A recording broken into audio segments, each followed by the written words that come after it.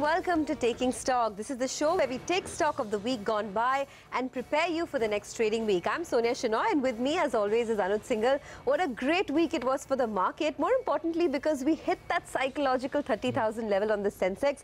Of course, Anuj, we did see some amount of profit taking towards the end of the week, but we termed it a healthy correction that the market could be looking at, right? Yeah, not, not healthy for those, of course, who bought on Thursday, Sonia. But yeah, I mean, you know, it looks like it's the start of first real correction for global markets. Uh, this is a global uh, problem that the market faced. Uh, and of course, uh, the, the Nifty fuel to sustain above 9200.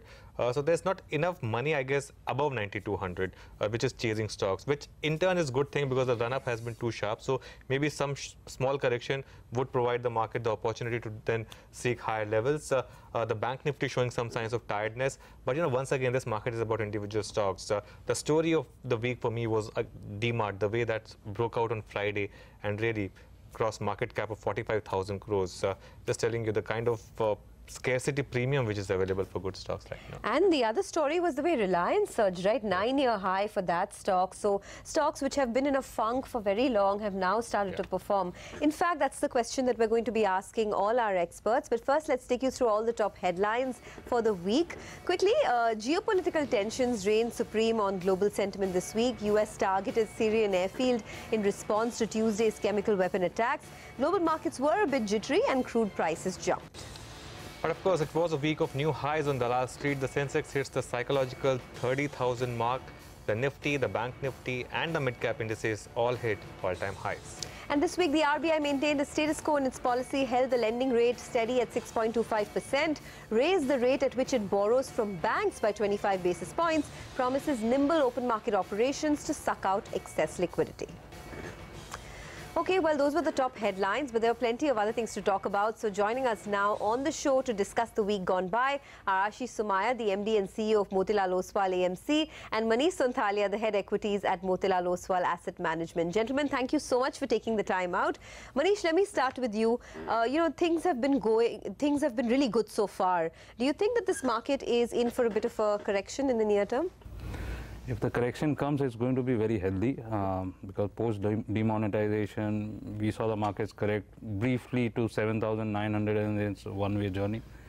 Uh, I think there is too much of froth in the short term. And uh, believe it or not, you know, if you are a long-term investor, there is a long, big opportunity out here because not only have we seen GST go through both houses of parliament and you know landmark reforms and emerging markets as a as a basket is now becoming very favorable for from an Indi from a foreign investor's point of view.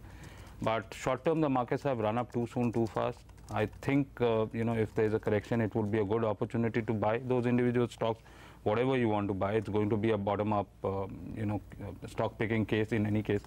So I'm more glad that the correction has come through and it will provide a good opportunity for people who want to buy and maybe sitting on the sidelines, you know, get into the markets. Okay. Uh, Ashish, uh, the uh, other uh, talking point, of course, has been the domestic retail money, which via mutual funds has been supporting the market and has stayed uh, intact. Uh, do you see more flows into the markets? And as a fund manager now, is it getting a bit tough to manage the kind of money that you're getting now at these valuations?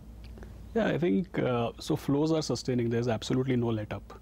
You know, like we are in the first week of April, and anytime now you will get the final numbers for what was the March collection. You know, in terms of gross flows, net flows, etc.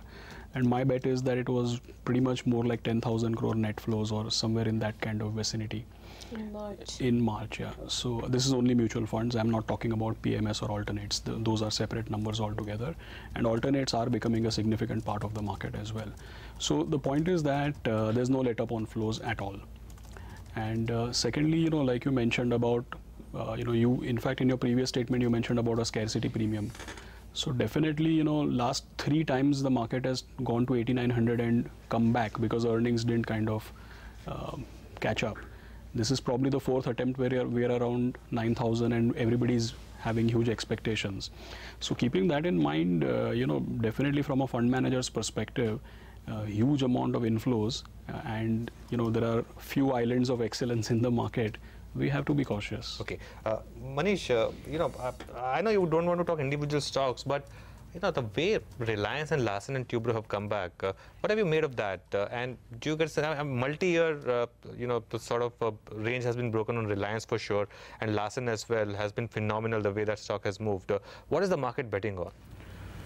So the concern point on Reliance was the telecom business, and obviously when you had that specific number come through, that's you know that million subscribers, you know, that was a comforting mm. factor because people were betting on 10 crore subscribers to achieve a break even, and if you hit that 70 million subscribers, I mean there's some ray of hope from this side of business. The rest of the businesses were doing extremely well. There was no doubt upon it. So I think that is the silver lining on Reliance's and market has actually rallied. Uh, the stock price has rallied. In the case of Larsen and Toubro, I think now there is greater visibility that for the next three to four years, uh, you should be seeing a 15% CAGR. I mean, and that sort of a that sort of a thing is not there in the price. So I think that is what the markets are looking into. We own Larsen and Toubro in one of our portfolios, so I am able to talk specifically more about this. Um, you know, I see a 15% CAGR growth in profits in Larsen and Toubro between now and the next three four years. So I think the valuations are perfectly comfortable. In, in general case, also you know, large caps have more value than mid caps and small caps in any case. So that is the main reason why Larsen and Toubro is adding. I think they uh, even more upside from these levels in the case of Larsen. Okay, you know, apart from the heavyweights that Anuj was talking about, uh, it, it's been a great season for IPOs as well. Look at Avenue Supermart, something that you guys hold in one of your funds. You have Shankara that did extremely well. Um, some of these are niche stories. Do you see more potential here? So I, I don't own uh, uh, DMart uh, in my portfolio for the simple reason that you know uh, today the markets are building in um, greater asset turns and an increase in margins. So 15% margins maybe going up to 18, 18 and a half percent sort of. Um, and asset turns actually improving from what it was currently. So that is, you know, people who are actually buying the stock are looking into those aspects and that is how they are able to justify valuations or put it simply can you see 2024 25 earnings at 700 plus i can't so you know i don't have it in my funds.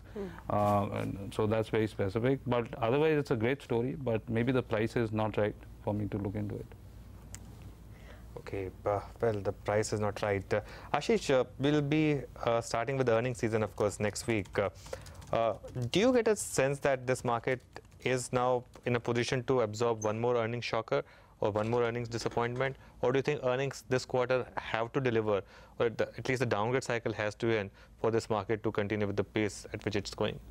No, I think uh, not only does uh, the market expect uh, delivery on the earnings front, but also you know like a healthy trend, if you really ask me, because there have been, like I said, there have been three disappointments in the last two years. You know, three attempts at 8900, and one or the other accident has hit the market, and I don't think there is much scope to take more accidents at this point in time, right? Uh, plus, also, you know, I'm also concerned from the experience that investors will have, because people are walking in, uh, you know, see other asset classes are not serving them well obviously. That's how equity becomes like a mainstay so this is a kind of time a lot of new people any which way start increasing allocation even if they're not first time investors mm-hmm. so for, even from investor experience perspective as well as from valuation perspective i would be pretty watchful if there is you know any early signs of a disappointment out there Okay, there's definitely some caution in your voices. So what I'm going to do is I'm going to take a short break. We'll come back and continue chatting about the markets. But as we do that, because this was a monumental week where we hit 30,000 on the Sensex, we got a lot of market opinion through the week. So let's hear some of the best uh, of the, uh, you know, the brightest minds in the business talk about how they're going to approach the market here on. We'll take a break and be back. I think the jury's out. It depends on what comes next, right? Uh, because uh, clearly Russia is a key backer. Uh, how does Russia respond? Uh, locally, Iran is a key backer. How does Iran respond? So those are part of the unknown unknowns that we'll have to see how they develop. although it's been a strong rally, you have to say that it is also because there was a very weak November and December. So I am living on that, that it's a rally. It was needed, but it's not like a runaway and out of control in that sense. So our net exposure is still high. We are around 70% net. Uh, you know, in our fund, we are always short some 30 odd percent. Uh, sometimes it goes up to 40, 50 percent. Right now, it's about 100 long and 30 percent short for a net of 70 percent.